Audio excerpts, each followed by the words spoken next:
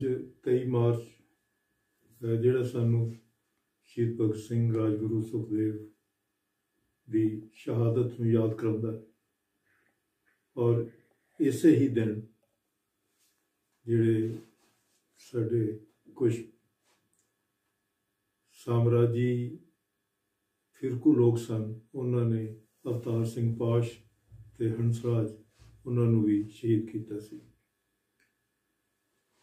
23 March ਹੀ ਦਿਨ ਹੈ ਜਿਹੜਾ ਸਾਨੂੰ ਯਾਦ ਕਰਾਉਂਦਾ ਹੈ ਕਿ ਬਹੁਤ ਮੁਸ਼ਕਲ ਹਾਲਤਾਂ ਵਿੱਚ ਕਿਵੇਂ ਨਜਿੱਠਿਆ ਜਾਣਾ ਚਾਹੀਦਾ ਹੈ। ਸ਼ਹੀਦ ਭਗਤ ਸਿੰਘ ਦੇ ਖਾਸ ਤੌਰ ਤੇ ਜਿਹੜਾ ਆਪਣਾ ਆਖਰੀ ਚਿੱਠੀ 20 ਮਾਰਚ 1931 ਨੂੰ ਗਵਰਨਰ ਦੇ ਨਾਂ ਲਿਖੀ ਸੀ ਉਹਦੇ ਵਿੱਚ ਉਹਨਾਂ ਨੇ ਇਹ ਗੱਲ ਸਪਸ਼ਟ ਕੀਤੀ ਸੀ ਕਿ ਅੰਗਰੇਜ਼ ਰਾਜ ਜਿਹੜਾ ਹੈ ਉਹ ਉਹਨਾਂ ਨੂੰ ਫਾਂਸੀ ਇਸ ਕਰਕੇ ਦੇ ਰਿਹਾ ਹੈ ਕਿ ਉਹਨਾਂ ਦੇ ਉੱਤੇ ਇਲਜ਼ਾਮ ਹੈ ਕਿ ਉਹਨਾਂ ਨੇ ਮਤਲਬ ਅੰਗਰੇਜ਼ ਰਾਜ ਦੇ ਖਿਲਾਫ ਇੱਕ ਜੰਗ ਲੜੀ ਹੈ। ਔਰ ਉਹਨਾਂ ਨੇ ਕਿਹਾ ਸੀ ਕਿ ਇਹ ਮਤਲਬ ਜਿਹੜਾ ਅਸਲ ਮੁੱਦਾ ਹੈ, ਇਹਨੂੰ ਆਮ ਲੋਕਾਂ ਤੋਂ ਤੁਸੀਂ ਉਲਝਾ ਕੇ ਰੱਖ ਰਹੇ ਹੋ। ਪਰ ਅਸੀਂ ਇਸ ਗੱਲ ਨੂੰ ਤਸਦੀਕ ਕਰਦੇ ਹਾਂ ਕਿ ਅਸੀਂ ਇੱਕ ਹਿੰਦੁਸਤਾਨ ਤੇ ਇੰਗਲੈਂਡ ਦੇ ਵਿੱਚ ਜੰਗ ਚੱਲ ਰਹੀ ਹੈ ਔਰ ਉਸ ਜੰਗ ਵਿੱਚ ਅਸੀਂ ਹਿੱਸੇਦਾਰ ਹੋਏ ਹਾਂ। ਪਰ ਇਹ ਜੰਗ ਕੀ ਹੈ, ਇਹ ਅਸੀਂ ਜ਼ਰੂਰ ਨਿਰਣਾ ਕਰਨਾ ਚਾਹਾਂਗੇ। ਉਹਨਾਂ ਦਾ ਕਹਿਣਾ ਸੀ ਕਿ ਇਹ ਜੰਗ ਉਦੋਂ ਤੱਕ ਚੱਲੇਗੀ ਜਦੋਂ ਤੱਕ ਲੋਕਾਂ ਨੂੰ ਉਹਨਾਂ ਦੀ ਮਿਹਨਤ ਦਾ ਫਲ ਨਹੀਂ ਮਿਲਦਾ ਤੇ ਜਦੋਂ ਤੱਕ ਕੋਈ ਵੀ ਦੇਸੀ ਜਾਂ ਵਿਦੇਸ਼ੀ ਲੋਕ ਜਿਹੜੇ ਨੇ, ਉਹ ਇੱਥੋਂ ਦੇ ਦੇ ਜਿਹੜੇ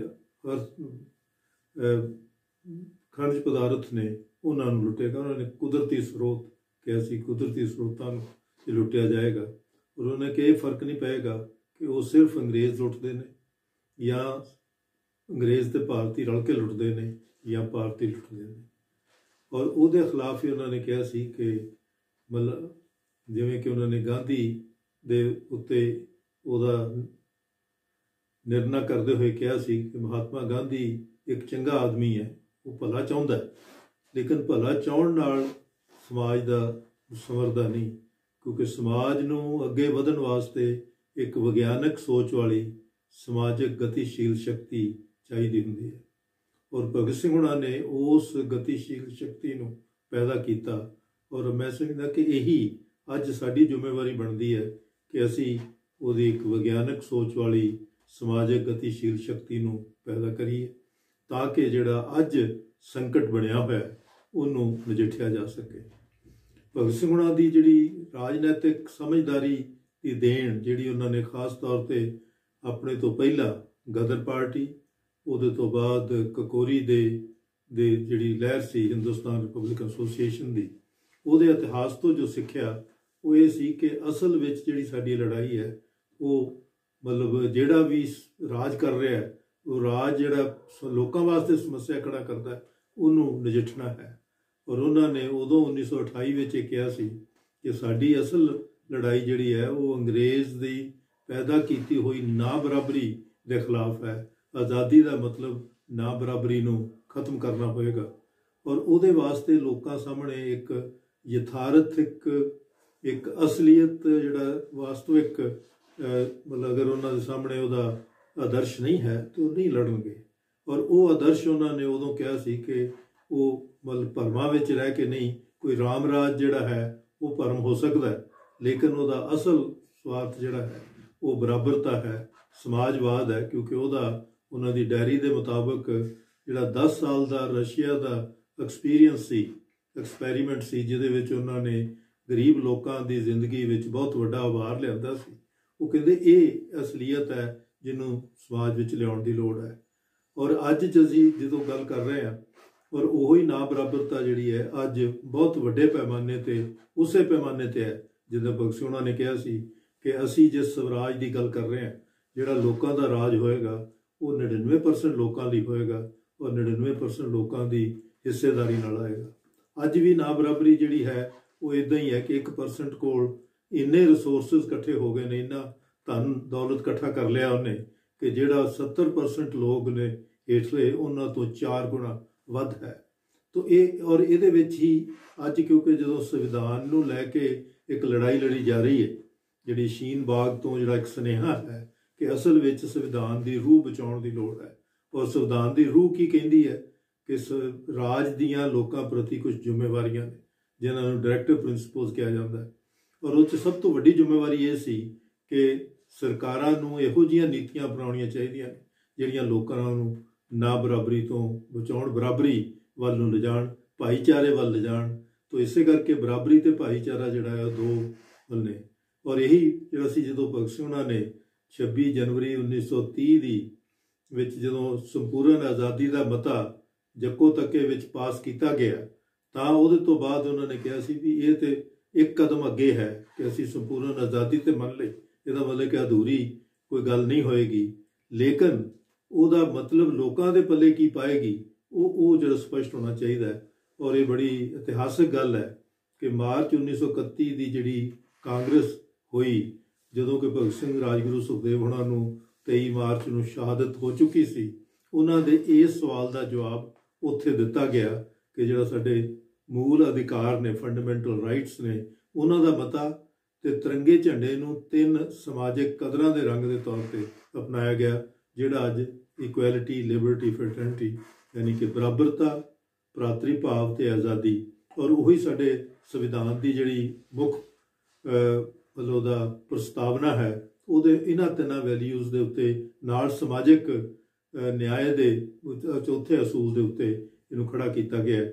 ਤੋਂ ਇਸ ਕਰਕੇ ਜਦੋਂ ਅੱਜ ਅਸੀਂ ਕਰਦੇ ਹਾਂ ਤੇ ਸਰਕਾਰ ਤੋਂ ਇਹ ਜਵਾਬ ਪੁੱਛਣ ਦੀ ਲੋੜ ਹੈ ਕਿ ਉਹਨਾਂ ਨੇ ਉਹ ਨੀਤੀਆਂ ਕਿਉਂ ਅਪਣਾਈਆਂ ਔਰ ਜਿਹੜੀਆਂ ਨੀਤੀਆਂ ਨੇ ਅੱਜ ਨਾ ਬਰਾਬਰੀ ਪੈਦਾ ਕੀਤੀ ਹੈਗੀ ਤੋਂ ਮੈਂ ਸਮਝਦਾ ਕਿ ਅੱਜ ਉਹਨਾਂ ਨੂੰ ਯਾਦ ਕਰਦਿਆਂ ਹੋਇਆਂ ਸਾਨੂੰ ਆਪਣੇ ਆਪ ਵਿੱਚ ਉਹ ਦ੍ਰਿੜ ਇਰਾਦਾ ਵੀ ਕਾਇਮ ਕਰਨਾ ਚਾਹੀਦਾ ਔਰ ਉਹਦੇ ਚ ਮੈਨੂੰ ਹਮੇਸ਼ਾ ਜੋ ਉਹਨਾਂ ਨੇ ਮਤਲਬ ਸਿੱਖਿਆ ਸੀ, ਇਹ ਗੁਰੂ ਗੋਬਿੰਦ ਸਿੰਘ ਜੀ ਨੇ ਕਿਹਾ ਸੀ ਕਿ ਸਮਾਜ ਦੇ ਹਿੱਤ ਦੀਆਂ ਸ਼ਕਤੀਆਂ ਤੇ ਸਮਾਜ ਦੇ ਇਹਨੂੰ ਜਿਹੜੀਆਂ ਕੁਕਰਮ ਉਹਦੇ ਖਿਲਾਫ ਲੜਨ ਵਾਲੀਆਂ ਸ਼ਕਤੀਆਂ ਦੀ, ਹਰ ਯੁੱਗ ਵਿੱਚ ਲੜਾਈ ਹੁੰਦੀ ਹੈ ਔਰ ਸਮਾਜ ਦੇ ਹਿੱਤ ਵਾਲੀਆਂ ਸ਼ਕਤੀਆਂ ਨੂੰ ਜਿੱਤਣਾ ਚਾਹੀਦਾ ਹੈ। ਤੋਂ ਅੱਜ ਮਤਲਬ ਅਸੀਂ ਉਹਨੂੰ ਕਿਵੇਂ ਵਧਾ ਸਕਦੇ ਹਾਂ, ਉਹਦਾ ਇੱਕੋ ਹੀ ਤਰੀਕਾ ਹੈ ਕਿ ਅਸੀਂ ਆਪਸ ਵਿੱਚ ਭਾਈਚਾਰਾ ਬਣਾਈਏ।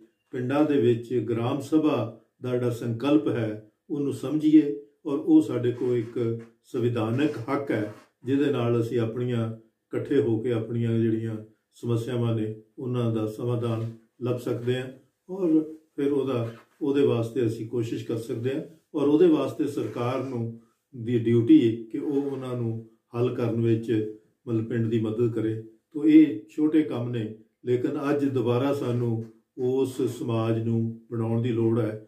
ਜਿਹਨੂੰ ਇਹ ਪੂੰਜੀਵਾਦੀ ਸ਼ਕਤੀਆਂ ਜਿਹੜੀਆਂ ਨੇ, ਉਹ ਵਿਅਕਤੀਵਾਦਤਾ ਕਰਕੇ ਵਖਰੇਵਾ ਪਾ ਕੇ ਉਹਨੂੰ ਤੋੜਨ ਦੀ ਕੋਸ਼ਿਸ਼ ਕਰਦੀਆਂ ਨੇ। ਅੱਜ ਉਹਦੇ ਮੁਕਾਬਲੇ 'ਚ ਉਲਟਾ ਇਕੱਠੇ ਹੋਣ ਦੀ ਲੋੜ ਹੈ। ਔਰ ਇਹ ਅੱਜ ਹੋਰ ਵੀ ਜ਼ਿਆਦਾ ਹੋ ਗਈ ਹੈ ਕਿ ਇੱਕ ਨਵਾਂ ਜਿਹੜਾ ਮਤਲਬ ਹਮਲਾ ਹੈ, ਉਹ ਇਸ ਕਰੋਨਾ ਵਾਇਰਸ ਦਾ ਹੈਗਾ ਵਾਇਰਸ ਦਾ ਹੈਗਾ। ਜਿਹੜਾ ਔਰ ਇਹ ਵੀ ਦੇਖੋ ਕਿ ਇਹ ਇੱਕ ਬੜਾ ਅਜੀਬ ਕਿਸਮ ਦੀ ਇਸ ਵਾਇਰਸ ਦੀ ਵੀ ਸਾਈਕੋਲੋਜੀ ਹੈ ਕਿ ਜਿਹੜੀ ਮਤਲਬ ਜਿਹੜੇ ਜ਼ਿਆਦਾ ਉਮਰ ਵਾਲੇ ਲੋਕ ਨੇ ਉਹਨਾਂ ਤੇ ਜ਼ਿਆਦਾ ਇਫੈਕਟ ਕਰਦੀ ਹੈ। ਹਾਲਾਂਕਿ ਜਦੋਂ ਹੁਣ ਹਿੰਦੁਸਤਾਨ ਚ ਆ ਗਿਆ ਤੇ ਉਹਦਾ ਇੱਕ ਵੱਖਰਾ ਰੂਪ ਵੀ ਹੋ ਸਕਦਾ ਹੈ, ਜਿਹਦੇ ਵਿੱਚ ਨੌਜਵਾਨ ਵੀ ਕਾਬੂ ਆ ਸਕਦੇ ਨੇ। ਹਾਲਾਂਕਿ ਬਹੁਤ ਘੱਟ ਰੇਸ਼ੋ ਹੁੰਦੀ ਹੈ, ਜਿਨ੍ਹਾਂ ਨੂੰ ਬਹੁਤ ਸਖਤ ਉਹਦੇ ਤੋਂ ਰਹਿੰਦਾ ਲੇਕਿਨ ਲੇਕਿਨ ਇਹ ਆਇਆ ਅਮੀਰਾਂ ਦੇ ਨਾਲ ਜਿਹੜੇ ਲੋਕ ਬਾਹਰ ਜਾ ਕੇ ਆਏ ਨੇ, ਉਹ ਲੈ ਕੇ ਆਏ ਨੇ ਔਰ ਇੱਥੇ ਤਿਆਰ ਹੀ ਨਹੀਂ ਸੀ। ਹੁਣ ਅੱਜ ਤੋਂ ਤਿਆਰੀ ਕੱਲ ਤੋਂ ਸ਼ੁਰੂ ਕੀਤੀ ਹੈ ਕਿ ਅਸੀਂ ਆਪਣੇ ਆਪ ਨੂੰ ਕਿਵੇਂ ਬਚਾਈਏ। ਲੇਕਿਨ ਉਹਦੇ ਵਿੱਚ ਵੀ ਜਿਹੜੀ ਸਰਕਾਰ ਦੀ ਜ਼ਿੰਮੇਵਾਰੀ ਹੈ ਕਿ ਜੇ ਲੋਕ ਤੇ ਲੜ ਰਹੇ ਨੇ, ਲੋਕ ਆਪਣਾ ਇਰਾਦਾ ਦਿਖਾ ਵੀ ਰਹੇ ਨੇ ਅੱਜ। ਕੱਲ ਨੂੰ 22 ਤਰੀਕ ਨੂੰ, ਐਤਵਾਰ ਨੂੰ ਲੋਕਾਂ ਨੇ ਇੱਕ ਮਜ਼ਬੂਤ ਇਰਾਦਾ ਦਿਖਾਇਆ ਹੈ। ਲੇਕਿਨ ਜਿਹੜੀਆਂ ਸਮੱਸਿਆਵਾਂ ਆਮ ਆਦਮੀ ਦੀਆਂ ਨੇ, ਉਹਦੇ ਪ੍ਰਤੀ ਮਤਲਬ ਸਰਕਾਰਾਂ ਕੀ ਕਰਨਗੀਆਂ? ਇਹ ਇੱਕ ਚੰਗੀ ਖਬਰ ਹੈ, ਹੁਣੇ ਹੀ ਆਈ ਹੈ। ਕਿ ਪੰਜਾਬ ਨੇ ਜਿਹੜੇ ਮਜ਼ਦੂਰ ਨੇ ਉਹਨਾਂ ਨੂੰ, ਔਰ ਜਿਹੜੇ ਕਹਿੰਦੇ ਰਜਿਸਟਰਡ ਮਜ਼ਦੂਰ ਨੇ, ਉਹਨਾਂ ਨੂੰ 3000 ਰੁਪਇਆ ਦੇਣ ਦਾ ਮਤਲਬ ਵਾਅਦਾ ਵਾਅਦਾ ਕੀਤਾ ਹੈਗਾ। ਲੇਕਿਨ ਨਾਲ ਹੀ ਇਹ ਵੀ ਕਿ 31 ਮਤਲਬ ਮਾਰਚ ਤੱਕ ਜਿਹੜਾ ਹੈ, ਉਹ ਇਹੀ ਜਿਹੜਾ ਹੈ ਕਿ ਇੱਕ ਲਾਕਡਾਊਨ ਹੈ ਕਿ ਜਿਹੜੀਆਂ ਬਹੁਤ ਜ਼ਰੂਰੀ ਸੇਵਾਵਾਂ ਨੇ, ਉਹਨਾਂ ਤੋਂ ਬਗੈਰ ਬਾਕੀ ਸਾਰੀਆਂ ਸੇਵਾਵਾਂ ਬੰਦ ਰਹਿਣਗੀਆਂ। ਲੇਕਿਨ ਇਹਦੇ ਵਿੱਚ ਜਿਹੜਾ ਅੱਜ ਦਿਹਾੜੀਦਾਰ ਹੈ ਮਤਲਬ ਜਿਹੜਾ ਉਹ ਮਤਲਬ ਰੋਜ਼ ਦੀ ਕਮਾਈ ਕਰਕੇ ਰਾਤ ਨੂੰ ਰੋਟੀ ਕਮਾਉਣ ਵਾਲਾ ਉਹ, ਉਹਦਾ ਕੋਈ ਹੋਇਆ ਨਹੀਂ। ਜਦੋਂ ਕਿ ਸਾਡੇ ਚੀਫ ਮਿਨਿਸਟਰ ਸਾਹਿਬ ਖੁਦ ਕਹਿ ਰਹੇ ਸੀ ਕਿ ਕਿ ਉਹਨਾਂ ਕੋਲ ਸ਼ਾਇਦ 2 ਕਰੋੜ ਟਨ ਜਿਹੜੀ ਹੈ ਉਹ ਚੌਲ, ਮਤਲਬ ਤੇ ਕਣਕ ਉਹਨਾਂ ਦੇ ਗੋਦਾਮਾਂ 'ਚ ਪਈ ਹੋਈ ਹੈ। ਉਹ, ਉਹਨਾਂ ਨੂੰ ਮਦਦ ਦੇਣਾ।